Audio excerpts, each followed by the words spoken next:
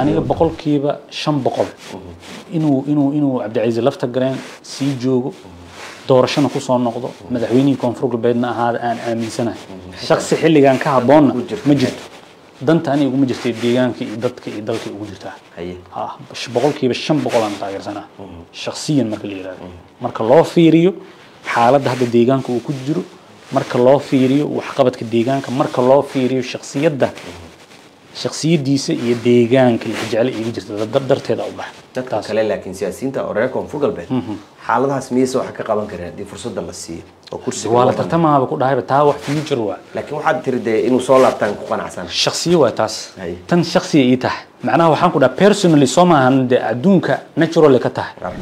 Aniga waxaan aaminsanahay sanduuq haddii la dhigo koonfur galbeed codka ugu badan inaan helayo oo xildhibaan haddii aan u tartamayo iyo adiga. Aniga haddaan u tartamayo xildhibaan oo aan cod rabo waxaan aaminsanahay codka aan helayo limitationka codka aan rabo ka badan inaan helayo cod doorasho qof iyo cod inay ii fiican tahay waa aaminsanahay.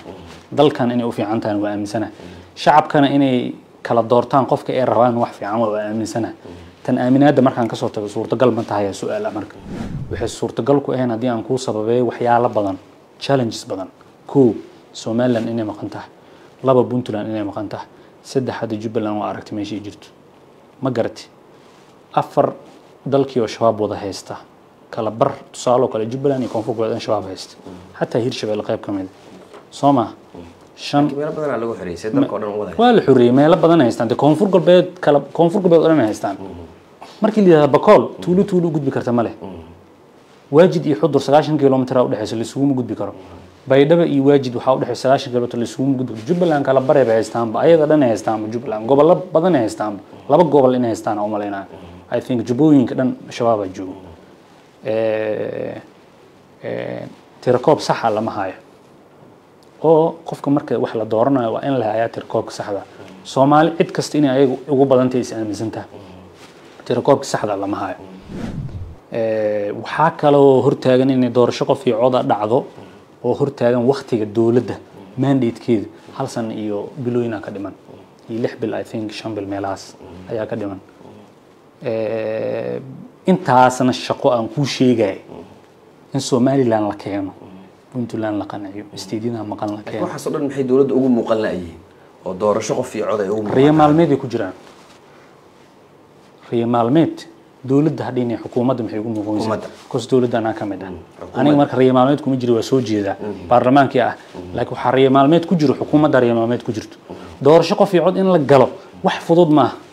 Laakiin ma sheegin haddii xukuumadda haddii ay rabto xamarweyne iyo in sanduuq la dhigo iyo number afar sanduuq in la dhigo oo soomaali dhan meesha lagu doorto. Maya dee riyadaas haddii jirtaa ka wadaa macnaha dreamkaasaa jiri kara mogta wax maskaxda shaksi wax iska soo qortay shaar shaksi iska tosh in aan laga dhigin soomaali masiirkeedii waxa laisla wada ogyahay miiskaas in la keeno. Oo soomaali la isku keeno. Laakiin haddii la yidhahda marka soomaali iskuma keeneyno kaligeena wax iska wadanin annaga unbaa wax iska samaysanen cid kale aan rabna male haddii la yidhaahdo xarigaas yarkaa go'aya xarigaas yarkana hadda annaga hadda ku soo harnay. Koonfur galbeed hadda ku soo hartay runta marka laga hadlo xariga tartiib tartiibay duntiisa usii iyo maamulo badan baa jira way kusoo jiraan they are on the way laakiin markaa ku dhahay dowladnimada haddee ma ogtahay haddaan daaha kaaga qaado macnaha dowladnimada shan beelood waa dowladnimada shan beelood waa hal beel oo soomaaliyeed jaa tagtay inay soo noqdaan in laga shaqeeyaa muhiima annagii xarigeeni hadda waa wax yar isku toosan yahay haddii annagii aan tagna soomaalidii kale aawo marka aawo soomaaliya soo haray. Soo haraysa dee in marka soomaalinimada la isku hayo dadka la isku doono madaxweynaha puntland la qanciyo madaxweynaha jubbaland la qanciyo doorasho heshiis lagu yahay oo wadar ogol ah nuucay noqon doonta iyo modaliteskeeda madashaas ay go'aamiyaan kadibna baarlamaanka jamhuuriyadda federaalk soomaaliya loo keeno ayadoo la qanacsan yahay soomaali oo wada qoslaysa inay iridkaas kala soo baxaan baarlamaankana maaragtay sidaa ku ansixiyo doorasho heshiis lagu yahayna dalka uu jeesto ayaan macnaha kula dardaarmayaa madaxda qaranka. Bismi illaahi raxmaan iraxiim assalaamu calaykum waraxmatullaahi wabarakaatu kulanti wacan oo wanaagsan dhegeystayaal ku soo dhawaada wareysi gaar ah oo aanu la yeelanayno. Xildhibaan doctor cabdirashiid maxamed nuur oo ku magac dheer xildhibaan jiley waa mudano ka tirsan baarlamaanka golaha shacabka islamarkaana ku matela maamulka koonfur galbeed ee dowladda soomaaliya xildhibaanka waxaan wax ka weydiin doonaa arrimo dhowr ah oo ku saabsan xaaladda guud ee wadanka gaar ahaan deegaanada uu ka soo jeeda ee maamulka koonfur galbeed. Xildhibaan marka ugu horeysa ku soo dhawo wareysigan uu kula yeelanayo t v-ga shabeelle waa mahadsan tahay soo faysane sharafeena ii tahay wareysiga. Marka aadaad u mahadsan tahay. Ugu horeyn cabdirashiid jiley waa nin dhalinyaro ah oo baarlamaanka lagu arkay. Dabcan dadku hadda inta badan ay wada garanayaan. Maxaa kale oo intaas ku dheer? Waa kuma cabdirashiid jiley waa mahadsantaha soo faysane aniga waxaa la yihahdaa cabdirashiid jiley waxaan ahay nin dhakhtar ah oo bartay cudurrada guud iyo qaliinada. Siyaasadana famil siyaasi ka soo jeeda wax badanna dowladnimada ku soo koray.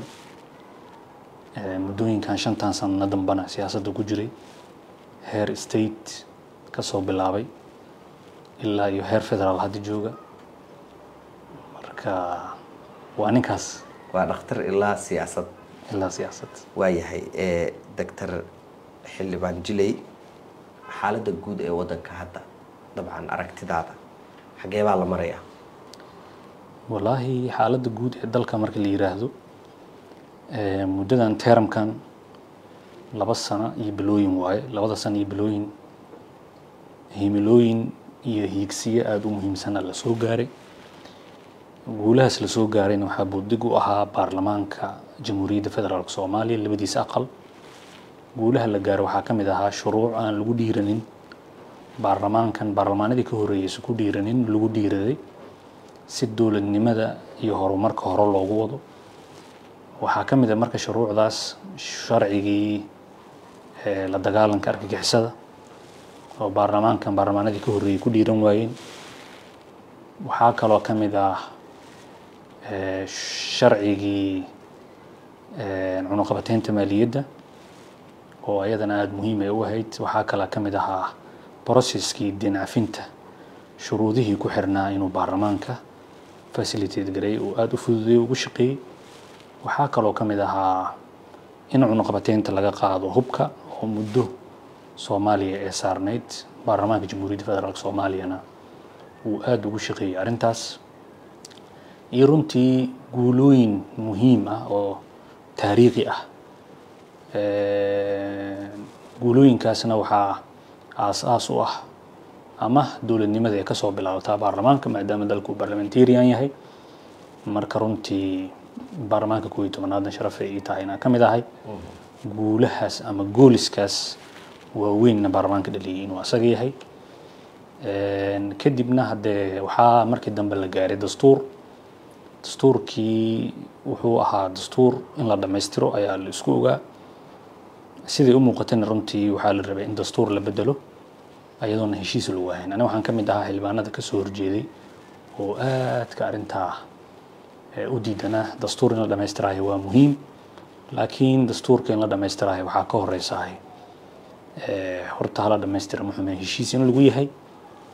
Dhammaystirkiina marka wuxuu u muuqday dastuur qof iska soo qortay inuu ahaa ayadoonan heshiis lagu ahayn. Natiijooyinkii marka ka dhalan karayna tusaalooyinka tusaale ka midana maantay hadda taagantaha soomaaliya waa sida loo jeedo loo jooji maayana. Meesha maanta dalka ay gaarsiisay waa wax la wada arki karo. Sidaynu wada ognahay dalka federaal waaye nidaamka federaalkana waxaa waaye wax la isku darsaday lagu wadan qanacsan yahay. Wax isku darsigaas marka maamulaa jiro statesaa jiro oo dadka ay ka yimaadaan oo annaga nagala soo doortay. Hadda stateskaas waa inay si wadar ogol ah ay u wada go'aamiyaan masiirka ummadda soomaaliyeed ayadoo golihii shacabka soomaaliyeed go'aanka gaaristii ugu dambeysay ay lahaayeen. Sidaas hadda ujeedid marka maamuladu ma dhanna. Dastuur in la dhammaystiro waa muhiim laakiin waxaa ka horreeya waxyaalo badan caqabado badan oo xal u baahan. Oo ay ugu horeyso runtii ay ugu horeyso somalilan oo hadda maanta maqan puntland oo hadda maanta aada ogtihiin xaaladda siyaasadeed ee dowladda dhexe iyo dowladda puntland. Tirakoob sax ah oo aanan jirin. Ee, saasay tahayna ee, dastuurkii waxaa loo baahan yahay marka in lagu qanciyo in le meesha lagu dhaqaayahay. Ma aha keliya. Ee, gobolka banaadir waa stateska oo dhan aa la rabaa in dastuurkaas heshiiskaas bulsho. Dastuurna sidiisa macnihiisa waa heshiis bulsho marka aniga fursaddan ka faa'iidaysanayana bulshada in la isku hayo la isku keeno heshiiskaas bulshana lagu dadaalo loo joojin maayana la iska dhaafo Ee, dabcan labada sano iyo barka ay jirto dowladdan waxaad ka sheekaysay in wax badan ee, lagu tallaabsaday oo la qabtay iyadoo dhinacyada ay ka hayaan baarlamaanka aad ka tirsan tahay iyo xukuumadda. Ee, haddana sidaas oo tahay waxaa la arkayaa doctor jilay ama xildhibaan jilay oo mucaarad ah qaylinaya banaanka taagan. Bal labada arrin isqabadsii Ee, runtii horta su'aal aada muhiim ah waaye. Horta soomaaliya nidaam xisbi kama jira. Ee, sideedana adduunka baarlamaanada adduunka saa ka warqabto waxaa jira axsaab oo ah xisbi mucaarada iyo xisbiga talada haya baarlamaanka marka labada saf waxaa kala fariistaa mucaarad iyo muxaafad. Hadda laakiin heerkaas iyo biseelkaas soomaaliya ma soo gaarin soomaaliya waxyaalaha la isku haysto waxaa waaye aragtiyo ashkaas nidaamka xisbiga marka la gaaraahiya waxaa la dhihi karaa waxyaalahaas waa la mucaaraday iyo waxyaalahaas. Marka si qaldana marka aada waxaa loogu fahmaa kelmadda mucaaradada soomaaliya mucaaradada waxay ku habboon tahay xilliga nidaamyada axsaabta la gaaro laakiin hadda waa aragti kala duwanaan siyaasadeed.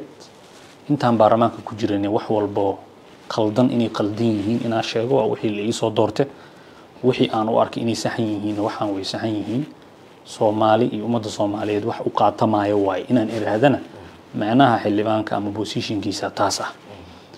Laakiin soomaaliya marka loo fiiriyo waxaa loo bedelaa opposition inay tahay ama siyaasad mucaaradada ah inay tahay marka taas ma la dhihi karo siyaasad mucaaradada. Taas waxaa la dhihi karaa in wax lagu toosiyo dowladnimada waaye. Dowladnimada in la toosiyo ahayna laba sano ka hor. Waxaa hadda bilaaba maahan baarlamaanka cusub. Ayaan soo bilownay.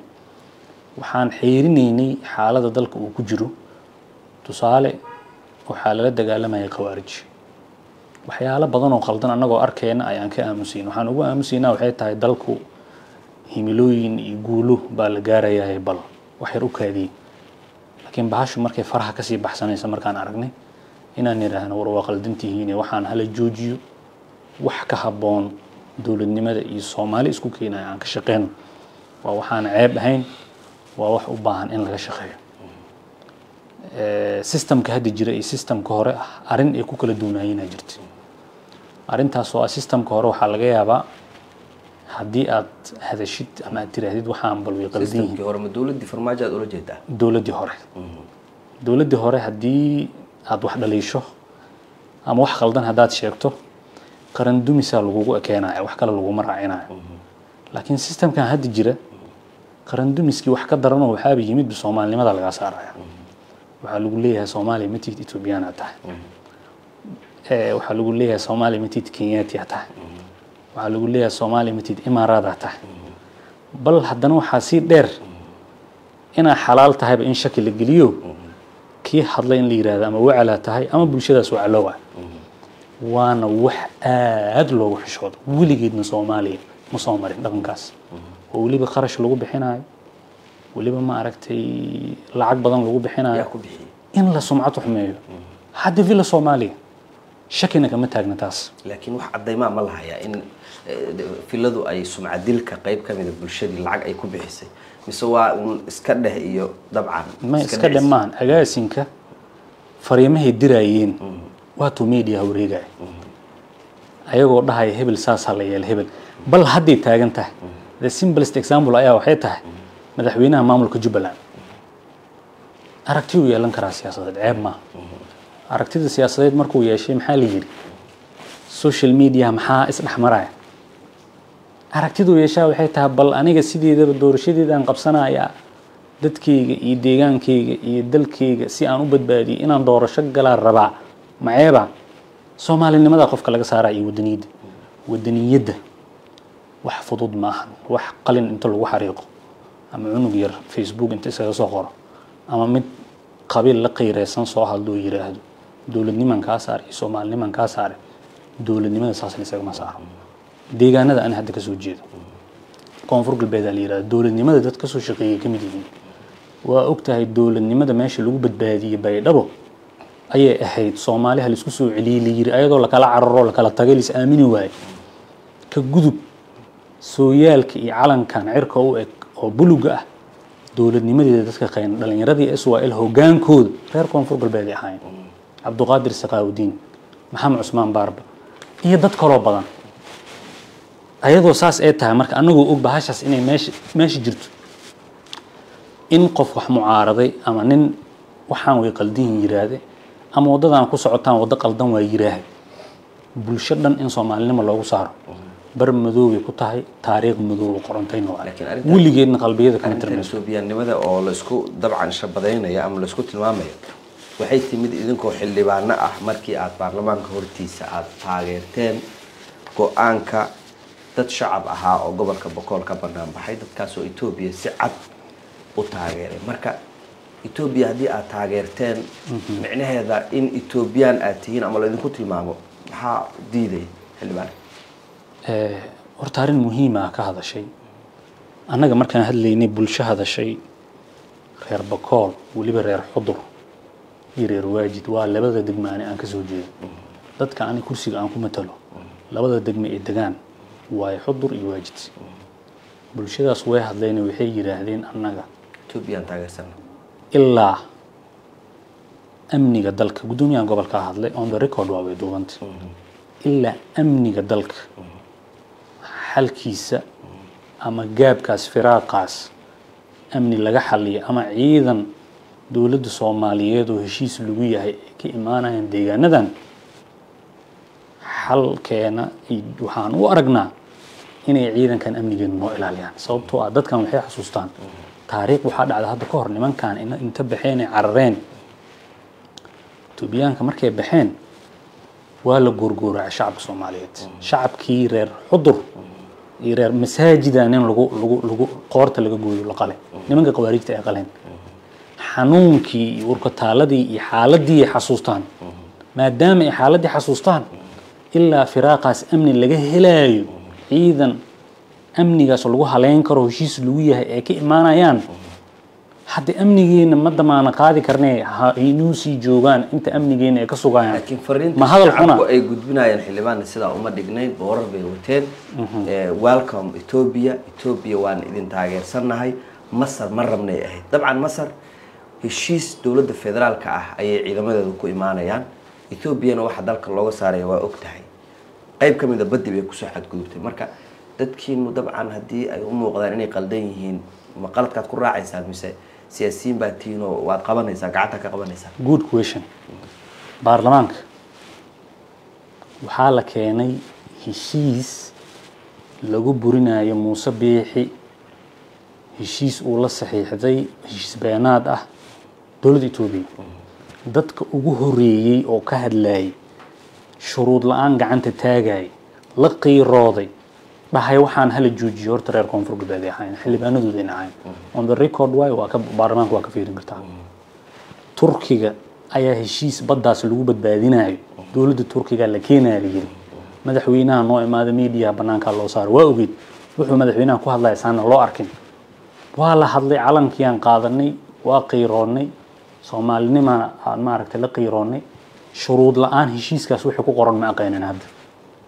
Soomaaliya oo dhan aan la iibinaya hadday ku qoran tahay anuu xildhibaana war uma hayo hal nin xildhibaan golaha shacabka ka midana ma ogo waxa ku qornaa heshiiskaas turkiga. Si marka baddaas soomaaliya cadowga loogu badbaadiyo turkidana ee noogu ilaaliyaan baddeenna nooguna difaacaan qarannimada iyo madax banaanida dhuleed ee dalkeenna ayaan horta ku ansixin. Wadaniyad heerkaas la eg meeshaasay naga maray horta shacabka hadlay maamulna wuu hadlay gobolka bakool maamulka gobolka bakool warkoodaa war noo ah ilaa iyo haddana war noo ah dhegeyso maamulka gobolka bakool maxay ku hadleen? Waxay ku hadleen ilaa firaaqa uu ka imaanayo. Amnigaas laga heshiinayo ciidan midaysan laga keenayo oo heshiis lagu yahay. Haddii amnigeena annaga ma dayacayno waana run way saxan yihiin boqolkiiba laba boqol ay saxan yihiin midda kale marka annaga ani hadda maanta micnihi ima sameynaa ninaan matelin inuu qaaq iska yiraahdo horta. Shaksiyan rabaa inaan horta fursaddan ugu faaidaysto mid aan ani kursi ku matelin hadduu hadlo shaqo ma ku lihi. Sababtoo ah aniga waxaan kursiga ku matelaa dadkii isoo doortay boqol iyo kowdii isoo doortay horta kursi ku matelaa soomaalinimana waa aaminsannahay qarannimana waa aaminsannahay. Dhegeysa bal aan ku let me finish. Soomaalinimana waa aaminsannahay qarannimana waa aaminsannahay. Cadowna dalkan uguma helinayn taariikhdana maanta way qoran tahay.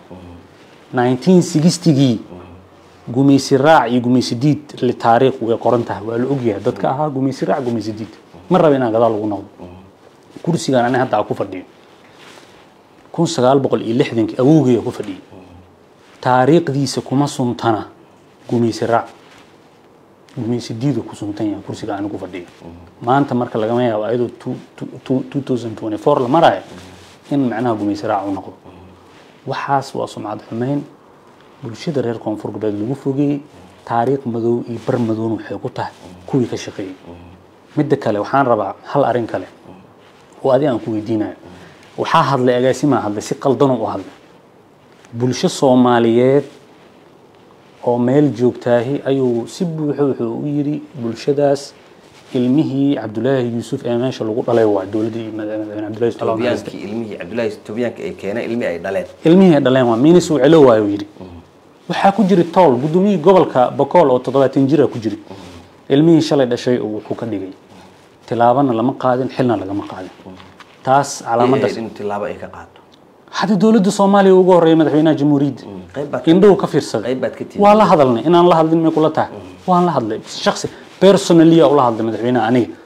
Personalia ula hadlay. Waxaan ku dhahay ninkan waxaan sameeyey si soomaali la isugu keeno horta waxa uu ku dhaqmay inay wax qaldan yihiin waxaan wax dadka qalbiyadooda ka tirmaya maahane tilaabaha laga qaado. Ma fahanti? Wax action ah ama wax tilaabaha laga qaado mujidaa heerkaasi horta baasha mareen iyadoo heerkaas wixii la gaarsiiyey. Aa weli waxaa niri soomaali halisku hayay aan la kala tegin. Ayaa ilaa hadda taagannahay Laakiin- waana sababta aan ku dhamay waana sababta hadda madaxweynaha koonfur galbeed cabdicasiis laftagareen uu hadda muqdisho u joogo. Agaasimahaas aad ka hadashay oo dabcan u gafay sidaad sheegtay maamulka koonfur galbeed dad badan waxay qabaan oo ay soo barbardhigayeen sawirkaaga iyo sawirkiisa. Mhm. waxay lahaayeen cabdicasiis eh, cabdirashiid jile iyo agaasimaha hadlay bashiir labadaba gef bay galeen gafkii ha lagu wada qaado ama ha la wada dhaafo. Adigii ninkaas inaad siman tihiin ma aaminsantaha adigu? Sida dadka ay sheegayaan. Horta dadka bulsho way hadli kartaa horaan kugu sheegay. Ani kan waxaa muhiim ii ah soomaalinimada fahansan kan waxaa muhiim ii ah qarnimada fahansan kan waxaa muhiim ii ah soomaali inay isla jirta aaminsana muhiim ii ah. Mid kaloo laga hadalsiiyey ama ii hadal la yidhi hotel tag la yidhi horta macna ma igu fadhiyo. Tan kale marka eh, xaaladdaa markaa taagneyd iyo xilligii la hadlayay waaba la ogaaday waaba la garowsaday waa laga hadlay raaligelina laga bixiyey. Inaan hadda ku noqdo ma rabo. Wax dhacay oo laga gudbo waay laakiin current situation xaaladii markaas taagneeda waxay tahay shaksi agaasimo ah inuu hadlo saas u hadlo. Wax aad loogu xumaado waa ilaa iyo hadda shacabkaasna indhaha waxay ku hayaan dowladda soomaaliya. Nabar xun waayo macnaha oo ku yaalla boog aan weligeed dhammaanaynin waa litaariikh laba wadaa u furan marka in la iska dhaafo la yidhaahdo ninkan dad buu noocayey siduu wax u yidhaahdo wax noogu dhahay ayaan ku qanacsannahay hanoo joogo wax fiican oo qabtay shaqo fiican oo qabtay in la yidhaahdo in saas ani hadda u fasir luuqadda waxaa u fasira aniga markaan aada u qiimeeyey saasaa ii soo baxday. Haddaysan saas ahayn ninkaas waxaa waaye inqaab uu mudan yahay weli. Public inuu apology ku bixiyo waaye xil in laga qaada keliya way ka weyn tahay. Xataa in maxkamad la soo taago ninka saas u hadla ha xildhibaan waxaad sheegtay shacabka koonfur galbeed ee aada matashid wixii ay dhahaan inay kuu dhahan tahay ama go'aankooda adigu dabcan aada ku matashid sida somalilan maanta haddii reer koonfur galbeed oo midaysan ay dhahaan gooni baan isku taagnay. Soomaaliyaan ka baxnay adigu ma ku raacaysaa go'aankaas? Eh, su'aal fiican waa. Horta koonfur galbeed hadda xarigga meesha yar oo hadda soomaaliya iskula joogto waa horta somaliland way baxday. Puntland ma joogto. Jubbaland hadda waa u jeedaa xaalkeeda. Kista yar jamhuuriyadda federaalka soomaaliya calanka buluga hadda jira. Waxaa isku haya koonfur galbeed waa haddadan si fudud haddaan dhahna annagana waan ku baxna horta yaa sheekaysanaya yaa isla joogaba horta. Go'aanka dadkaaga ma ku raacaysaa? Go'aanka dadkeyga xaalad kastaa wax saxan hadday yihiin. Wax ayaga u qaatan hadday yihiin waa ku raacaya. Oo u arkaan masiirkooda inay soomaaliya ka go'aan. Soomaaliya inay ka go'aan haddii ay u arkaan oo ay xal naqato oo ay xal naqato xalkaasna oo nagula muuqdo aniga iyo shacabkeyga xal saxan oo aynan soomaali dhibaato aan u ahayn haddii ay naqato waaba sababta la ii doortay. Inaa kugu ku raaco. matalaadeeda inaan ku raaco. Waa maasan tahay Eh, waxaa jirta xildhibaane xil ergo oo madaxweynaha uu ku magacaabay. Dabcan oo madaxtooyada aad ka tirsanayd dadku waxay ogaayeen adoo dowladdii ka mid ah oo madaxweynihii uu ku magacaabay. Hal mar haddana mucaarad ah oo qaylinaya. Dabcan inkastoo markii dambe lagaa qaaday bal xilka waxaa lagaaga qaaday iyo dowladda waxaad shaksiyan isku qoonteen bal nooga sheekay horta taas jawaab waxaa kugu filan. Anoo xilka haaya ha inaan baarlamaanka soo istaago war hooy waa qaldantiin dhahay anoo xilka haaya ha inaan bannaan soo istaago ha shacabkayga la dareen naqanaya jawaab horta taasaa ugu filan. Jawaab taasaa ku filan. Xil yar ama xil weyn nuucu rababa ha ahaado dadka aniga aan matalo bulshada aniga aan matalo dareenkooda iyo inaan la damqado iyo dhibaato ayaga lagu hayo inaan ka aamuso xil uma fiiriyo kuleylna iguma hayo qabowna iguma hayo. At that time ka horaaba hilmaamayba. Muhiimaddeeda waxay tahay inaan shacabka matala ku matalo si dhab ah. Wixii dhibaato ay tirsanayaan dowladda federaalka soomaaliya inaan cod dheer iyo si gaaban iyo si dheerba aan ku gaarsiiyo. Intaas waa matalaadeeda xil aanan wey karin oo bullet proof ah aa hadda ku fadhiya waxaan ahay xildhibaan qaran. Madaxweynaha jamhuuriyadda federaalka soomaaliya oo astaantii qaranka ahayd xasaanaduu ku fadhiyay ninkii siiyaan ahay. Xil xilkaas ka weyn aan u baahanahay ma jiro. Ma fahanti? Sidii aan shalay ugu taagnaa la damqashada iyo dareenka shacabka aan matalayay ayaan maantana ugu taaganahay birina ugu taagnaan doonaa cid aan weji ugu samaysanahay ama cid aan weji ugu ugu baahanahay intaas ma jirto. Xaaladaas marka meesha ay taagneyd go'aano masiiri ah ayaa laga rabaa qofka xildhibaanka inuu qaato xaaladaha qaar. Go'aanada masiiriga maxaa ka mid ah? Waxaa ka mid a xaalada waxaa jirta oo dadkaaga bulshadaada ay kaa ay u baahan yihiin inaad garab istaagto. Xaaladaasna xilligay rabto iyo waqtigay doonto hadday noqoto. Jago kasta aan hayo inaan ku waayo waxba ma arko. Waan u- arrintaas. Eh, dabcan baydhabaad aadeen adiga iyo xildhibaano kale oo ka tirsan baarlamaanka koonfur galbeed. Kulamadii halkaas ka dhacay iyo waxyaabihii aad intii halkaas aad joogta aad samaysay intaana ku weydiin. Waxaa jira xildhibaano kale oo koonfur galbeed ah oo garoonkan siyaabo kala duwan looga celiyey adiga see kuula muuqatay? Goormee laga celiyay? Tallaabooyinkaas xildhibaano baar- baarlamaanka ka tirsan oo koonfur galbeed kaala soo jeedaa laga celiyey garoonka aadan cadde oo baydhabo aadi laha dabcan. Xildhibaan sareedaa ka mida xildhibaan kalaa ka mida la yiraahdo ciirow see u arkaysa arrintaas? Wallaahi arrintaas waaba ka hadlay baan horaa ugu hadlay. Arrin fiican ma ahayn. Sababtoo ah qofka xildhibaanka ah xaalad kasta iyo waqti kasta fasax la'aan xitaa. Xitaa fasax baarlamaan uguma baahna cid ugu baahan yaha male deegaankiisa wuu tegi karaa. Deegaankiisa wuu tegi karaa. Eh, in arrintaas ay dhacdana boqolkiiba boqol waa ka soo horjeedaa. Wax saxan maaha wax loo baahan yahay maaha. Tilaabadaas la qaadana waa tilaabo boqolkiiba laba boqol qaldan. Waana ku dhaliilay dadka hogaanka dalka ugu sarreeya waana wax taariikh ah oo u qormaysa waana wax rekordka u gelaysa sababtoo ah xaaladda markaas taagneed ayaa waxay ahayd xaalad koonfur galbeed xildhibaanadooda ee deegaan doorashadooda laisugu wada yeeray. Waxa loogu yeerina waxay ahayd inay dadkooda iyo deegaankooda iyo statekooda ay talo ugu noqdaan xildhibaan deegaankiisa talo ugu noqday in la celiyo xaaladaas wax xun waa xildhibaan aanba taladaas iyo howlahaas oo ugu muhiimsanay tacsi wiilkiisa dhintay inuu tacsidaa waajibkiisa soo guto waxay ku xishmeyn waayeen xildhibaannimo. Waxay ku xish- xishmeyn waayeen asagoo ah sargaal darajo sare ciidan ka gaara oo genaraal ah. Genaraal general macnaha wax ciyaar ciyaara ma ah oo ciidanka xoogga dalka gaar ahaan militariga ah. Janarnimaday ku ixtiraami waayeen xildhibaannimaday ku ixtiraami waayeen odanimaday ku ixtiraami waayeen reboorkay ka celiyeen. Wax ay reebanayaan iyo waxay xeerinayaan inaysan lahayn qof kastoo soomaaliya uu u jeedaa laakiin anaga kama yeelin gacantaa ka qaban inaan joogaan leenahay awoodo dastuuriya leenahay waajibaadkaasaa samayn karnaa ha. Maydhabo marka aad tagtay xildhibaan jilay waxaad adoo khudbeynaya oo ciidan la hadlaya aada u sheegtay in koonfur galbeed laba cadow ay leedahay. Mid shabaab buu ahaa haddii aanan qaldanayn kan kale yuu ahaa cadowga kale. Horta sideedaba cadowga laba waa. Wax hadalkaas hadalka margay waa. Ninna sibuu u yiraahdaa ninna si u fahmaa. Qofba meeluu u jiitaa warka. Ani waxaan ula jeeday local cadow ah iyo waxaa jira cadow international. Cadowgeena internationalka dowladaha dariska ah waa ogtahay waa la wada ogyahay. Cadowga localka ah ayaa wuxuu noqon karaa cadow laba siyaabo. Kan koowaad waaba la yaqaanaa cadowgii ninkii khawaarijka ahaa oo shabaabka ahaa kan kalena waxaa waaya cid kastoo koonfur galbeed inay ku soo duusho rabto.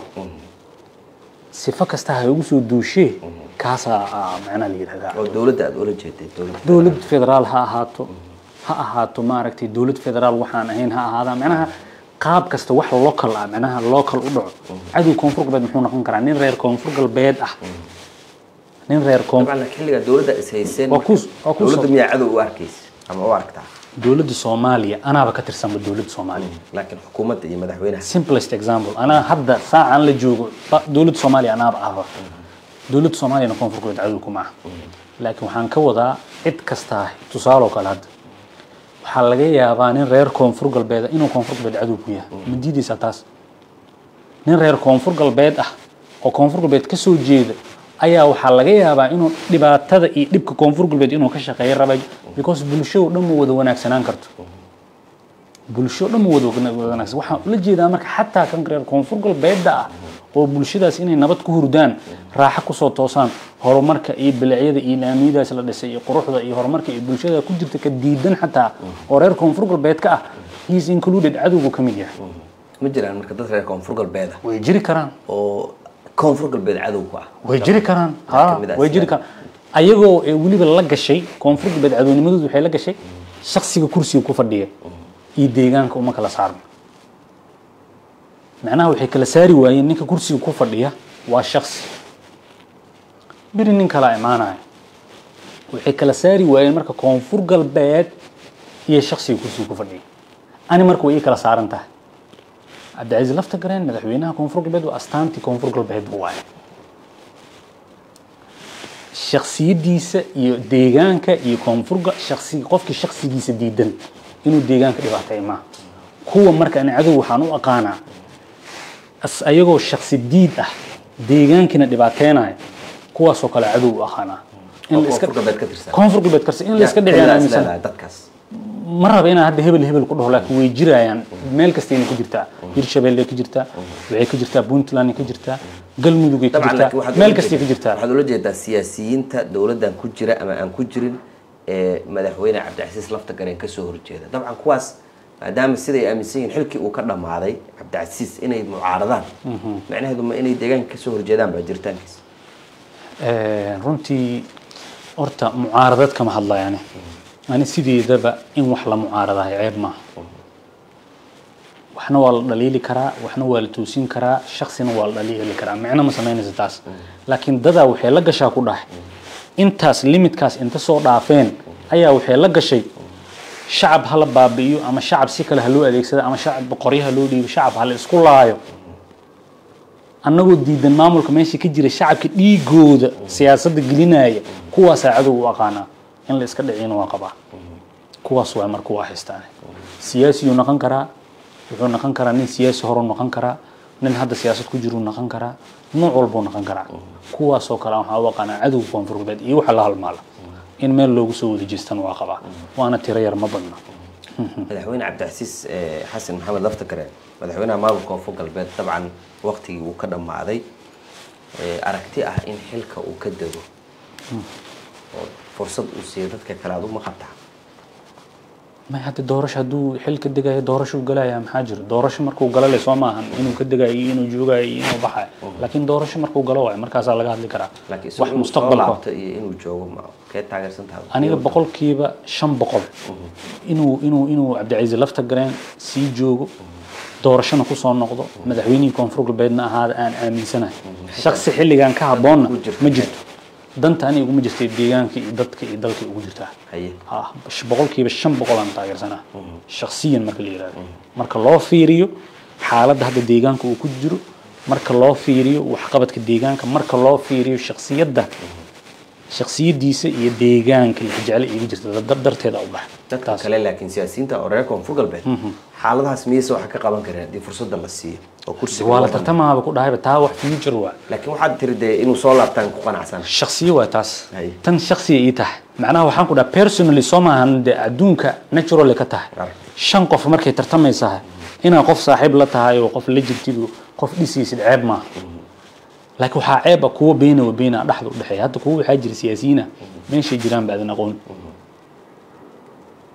Oo aanan dhihi karin full waxaa la jirnaa we support hebel ama anigaa shaksi wax uu rabo ama meeshaasaa jiraa inuu qofka siyaasiga kala cadeeyo ani boqolkiiba shan boqol ninkaasaa la jiraa doorasho election uuna galayaa electionka inuu ku soo baxayaan aaminsanahay shalayna waa aaminsanaa maantana waa aaminsanahay.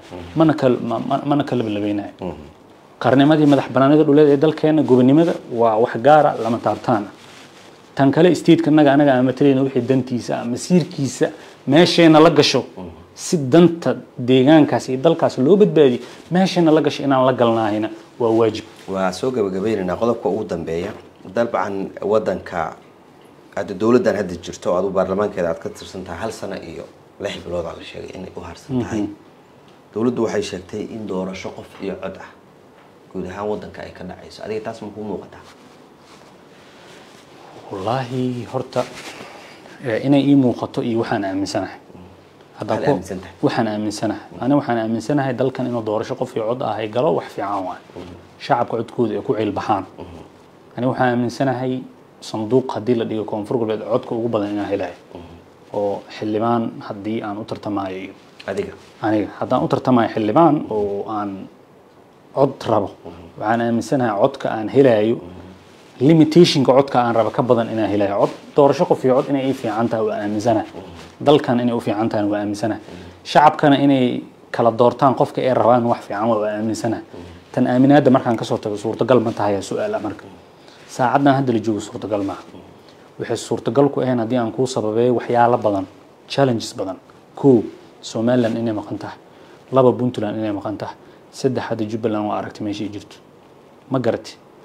Afar dalkii oo shabaab wada haysta kala bar tusaale oo kale jubbaland iyo koonfur in shabaab haysta xataa hirshabelle qayb ka mid soo ma?